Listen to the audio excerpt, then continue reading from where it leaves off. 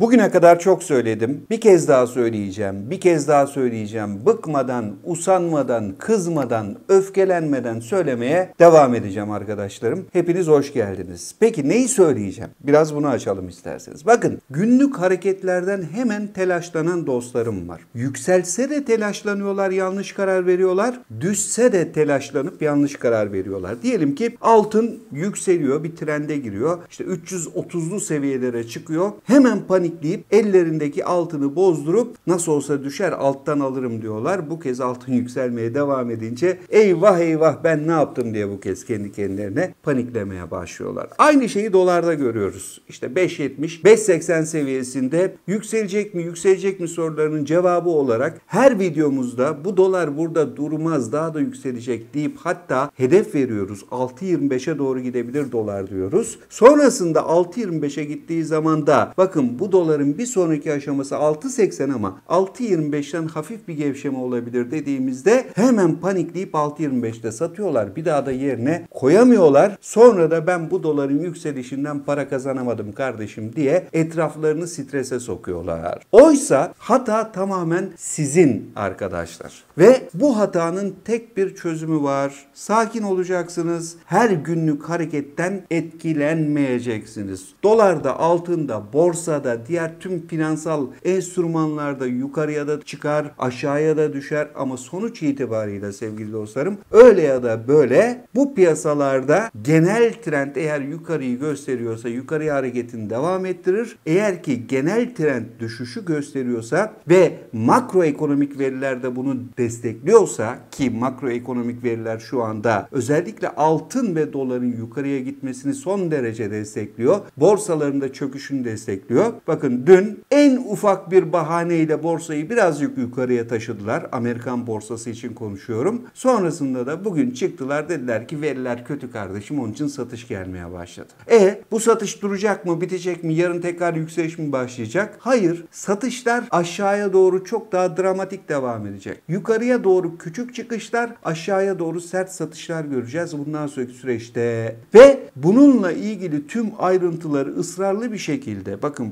pazartesi videosunda, salı videosunda, çarşamba videosunda sizlerle paylaşmaya çalıştım. Öyle ki pazartesi, salı, çarşamba günü söylediklerimizin aynısını Powell dünkü toplantıda söyledi. Faiz toplantısında söyledi. Ve bunun yanında da bakın ısrarlı bir şekilde ne dedik? Faizin bundan sonraki süreçte hiçbir önemi yok. Enflasyonun bundan sonraki süreçte hiçbir önemi yok. Yakın süreç için konuşuyoruz tabii. Sonraki dönemlerde elbette faizinde, enflasyonunda önemli etkileri olacak ama şu anki koşullar içerisinde Fed'in faiz indirmesinin, Avrupa Merkez Bankası'nın faiz indirmesinin ya da Türkiye Cumhuriyet Merkez Bankası'nın faiz indirmesinin falan çok önemli bir etkisi olmadığını sizlerle paylaşmıştım ve şunu söylemiştim. Faiz indirseler de durum aynen devam edecek, indirmeseler de durum aynen devam edecek. Onun için merkez bankaları bu durumu göze alarak karar verecekler demiştim. Yani faiz indirmeyeceklerini ya da faiz çıkartmayacaklarını en azından bir süre daha stabil kalacaklarını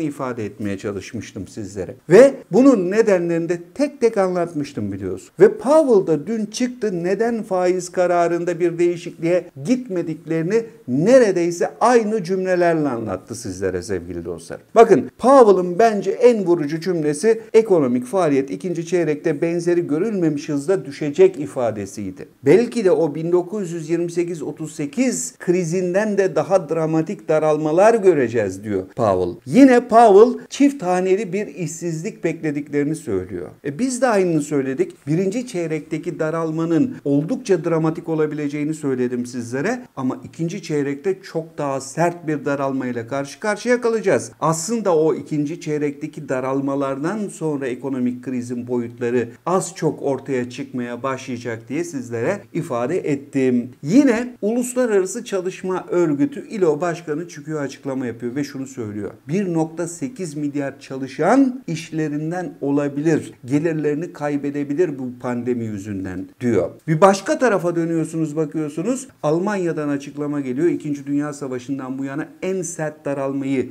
resesyonu bekliyoruz diyor. Öbür taraftan Fransa ile ilgili büyüme rakamı açıklanıyor. 5.8'lik bir daralma geliyor. Keza Avrupa'da %5'in üzerinde bir daralma. Anlayacağınız sevgili dostlarım bu hafta boyuna bunları söyledim. Pazartesi günü, salı günü, çarşamba günü. E diyeceksiniz ki altının onsu 1704 seviyesine geldi. E dolar da 7 lirayı geçmedi. Hatta dün 6.95'i gördü. Bugün de işte 6.99 seviyesinde. Nasıl oluyor kardeşim bu? Ya da ya da şunu söyleyebilirsiniz. İMKB yükseldi. Amerikan borsaları yükseldi. Avrupa borsaları yükseldi. Asya borsaları yükseldi. Bakın son dönemde hep klasik hareketleri görmeye devam ediyoruz. Çok küçük bir haberi borsaları yukarıya çekip küçük yatırımcıya vermek adına hisse senetlerini yüksek fiyatlarla satabilmek adına yukarıya çekiyorlar ama bir sonraki gün bir sonraki gün sert satış baskıları geliyor. Çünkü ekonomi gerçekten iyi gitmiyor arkadaşlar. Ekonomiyle ilgili çok ciddi problemler var ve arka arkaya açıklanıyor. Pandemiden çok daha derin bir ekonomik kriz yaşayacağız diyorum size. Bunu sadece ben de söylemiyorum artık. Bunu dünyanın tüm önde gelen ülke başkanları, yöneticileri, Merkez Bankası başkanları, çalışma örgütü gibi kurumları bunlar söylüyorlar. Ve doğal olarak da bu kaygı yavaş yavaş somutlaşıyor aslında. Evet, bu kaygı kaygı olmaktan çıkıyor yavaş yavaş gerçekleşmeye başlıyor. Bu kadar büyük daralmalar inanılmaz bir boyutu olduğunu gösteriyor bu ekonomik krizin. Mesela turizmle ilgili özellikle söylüyorum size turizm bu sene çok önemli. Neden? Turizm gelirleriyle biz cari açık problemimizi geçen yıl hallettik, çözdük. Değil mi? Ama bu sene turizm gelirlerimiz dip yapacak. Yurt dışından gelen işçi dövizleri de dip yapacak dedim sizlere. Bakın turizmin bu sene çok dramatik bir şekilde daralmasıyla ilgili ilk rakam geldi. Türkiye'nin turizm geliri %11.4 daraldı Mart ayında. Temmuz'da durum ne olacak? Haziran'da durum ne olacak? İnsanlar koşa koşa hemen Türkiye'ye gelecekler mi? Cevabını sizler gayet iyi biliyorsunuz. Yani cari açıkla ilgili çok ciddi bir problem var. Peki cari açığı ne belirliyor dedik? Dış ticaret açığını turizm gelirleriyle biraz daha iyileştiriyorsunuz ve cari açık ortaya çıkıyor. Dış ticaret açığı ne durumda? Hani ithalatın önünü kestik, ihracatı arttırdık falan diyorlar ya. Acaba gerçekten tablo öyle mi? İşte onun da cevabı burada arkadaşlar. Dış ticaret açığı Mart'ta %181.6 oranında artmış durumda. Dış ticaret açığı bakın ihracat değil.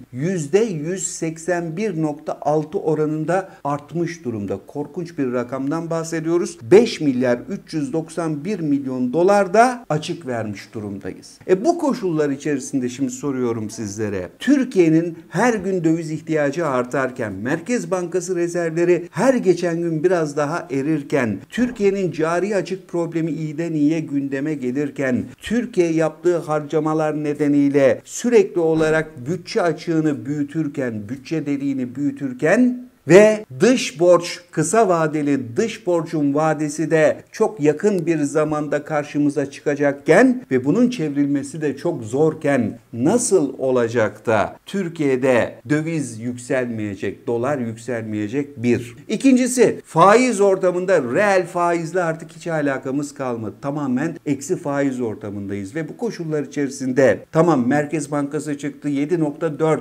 enflasyon olacak dedi ama Türkiye'de talep odaklı odaklı değil kur odaklı bir enflasyon olduğunu hepimiz biliyoruz. Ve bu kur odaklı enflasyon öyle ya da böyle arkadaşlar yarın öbür gün kurun yükselmesiyle birlikte bir enflasyonist baskı oluşturmayacak mı sanıyorsunuz? Yani %7.4 falan enflasyon oranının gelmesi mümkün mü? Değil. Tabi onların hesabı şu nasıl olsa talep daralıyor. E yurt dışından da daha az mal getireceğiz. E kuru da bir şekilde baskılarız falan bu şekilde enflasyonu stabil tutarız hatta aşağıya çekeriz. Mümkün mü? Değil arkadaşlar. Kur baskısı devam edecek, kur yükselmeye devam edecek, kurun maliyetleri de fiyatların üzerine bindirilecek. E yaz faktörünü hesaplıyorlar. Nasıl olsa yaz ayları geliyor. Meyve, sebze, o bu falan daha ucuza çıkacak. Ondan dolayı enflasyonu düşürürüz diyorlar. Ama pandemi nedeniyle pek çok tarla ciddi sıkıntılar yaşadı. Bakalım o pandemiden dolayı ne kadar hasat sıkıntısı yaşanacak. Bütün bunların da bir araya gelmesiyle fiyatta yükselişler gözlenecek. Edecek. Artı bazı yerler açılacak, bazı yerler açılmayacak. Orada arz probleminden dolayı ekstra bir fiyat maliyeti oluşacak. Bu da enflasyona yansıyacak. Bunların hiçbiri hesaba katılmıyor. Yani buradan şunu söylemeye çalışıyorum.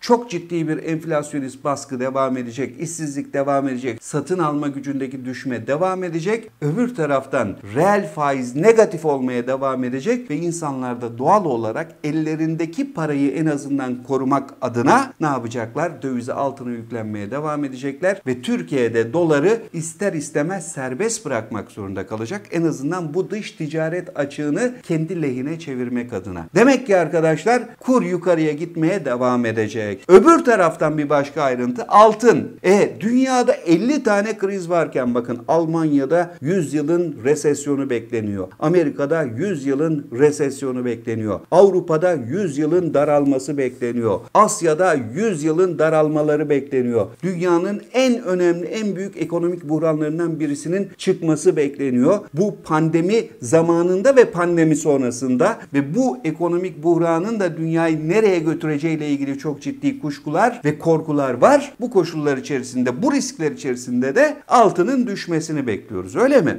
Bakın altın gevşeyebilir zaman zaman. Ama 1700 dolar seviyesini ellerinden geldiğince normalleştiriyorlar artık çok kısa vadelerde 1695-1690 seviyelerini gösterseler de tekrar 1700'ün üzerine atıyorlar. Atmasalar da 1680'den tekrar geriye dönüyor altın. Risk ortamından dolayı hem merkez bankaları hem vatandaşlar altına yüklenmeye devam ediyor. Tüm dünyada hem de yatırımcılar altına yüklenmeye devam ediyor. Çünkü büyük yatırımcılar da borsaların artık çok net riskli olduğunu görüyorlar arkadaşlar. Borsalara girmek yerine dolara altına girmeyi tercih ediyorlar. Bu arada bir başka ayrıntı sizlere uzun zamandır söylediğim bir şey nakit kraldır dönemindeyiz arkadaşlar. Elinizde nakitiniz varsa ya da nakite hızla dönebilecek yatırım araçlarınız var ise altın gibi bunu ilerleyen zamanda nakite çevirip bu kriz dönemindeki fiyat düşüşlerinden de faydalanabileceksiniz. Yani daha doğrusu yatırımcılar bunu böyle düşünüyorlar. Büyük yatırımcılar. Kardeşim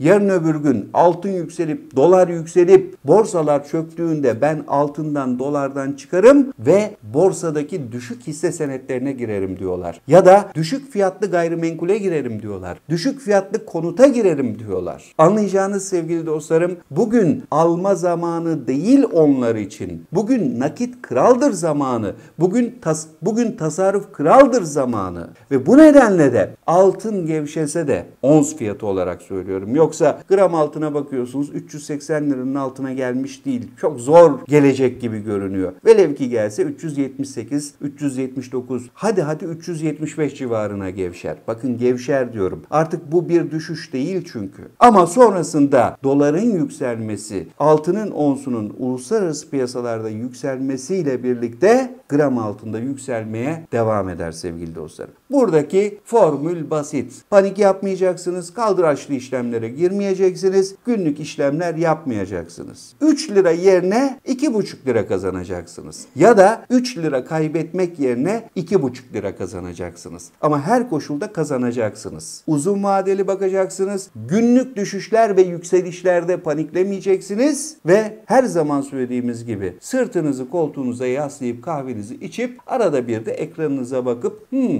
fena değil bugün de bir şeyler kazanmışım ya da paramı korumuşum diyeceksiniz. Aksini mi yapmak istiyorsunuz? Yapabilirsiniz. Ama aksini yaptığınız zaman kaybettiğiniz para nedeniyle kimseyi suçlama hakkına sahip değilsiniz sevgili dostlarım. Evet bu videomun da sonuna geldim. Yeni videoda tekrar birlikte olacağız. Görüşene kadar hoşçakalın, mutlu kalın. Yorumlarınızı mutlaka bekliyorum. Abone olmayı ihmal etmeyin. Bildirimlerinizi mutlaka açın. Eğer ki videoyu beğendiyseniz dostlarınızla paylaşın ve katıl butonuna basarak sizler de bize destek verebilirsiniz. Oradaki üyelik seçeneklerinden herhangi birisine üye olabilirsiniz. Hoşçakalın, mutlu kalın dostlar.